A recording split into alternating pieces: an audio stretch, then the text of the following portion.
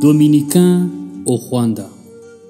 Méditation de la parole de Dieu de mardi de la troisième semaine du temps de Pâques.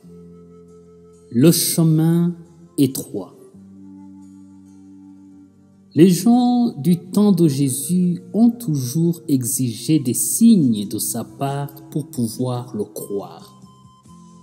Si tu es le Fils de Dieu, transforme ces pierres en pain. Après lui avoir bandé les yeux et l'avoir giflé, ils lui ont lancé le défi suivant. Prophétise qui t'a frappé. Enfin, ils lui ont lancé le défi suivant. Si tu es le Messie, descends de la croix.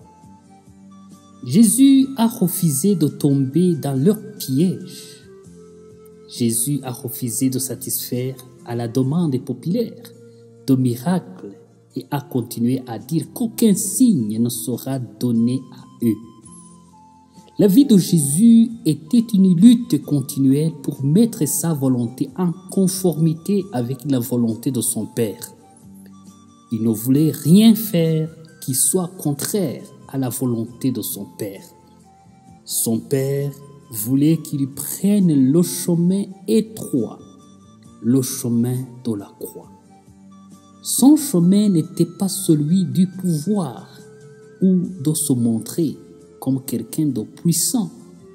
C'est comme Étienne. Lorsque Étienne a été lapidé à mort, comme nous l'avons entendu dans la première lecture, il n'a pas demandé de signe ni demandé à être sauvé miraculeusement, mais il a prié, Seigneur, ne leur reproche pas ce péché.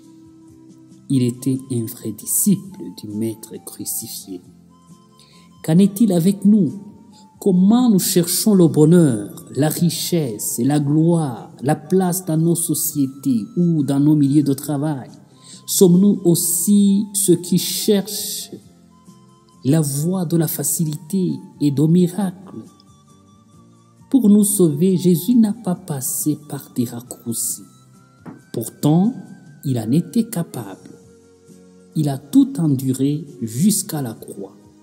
Au fond, la plupart des miracles qu'il a opérés dans son temps étaient des signes de son identité divine et non une obligation de sa mission.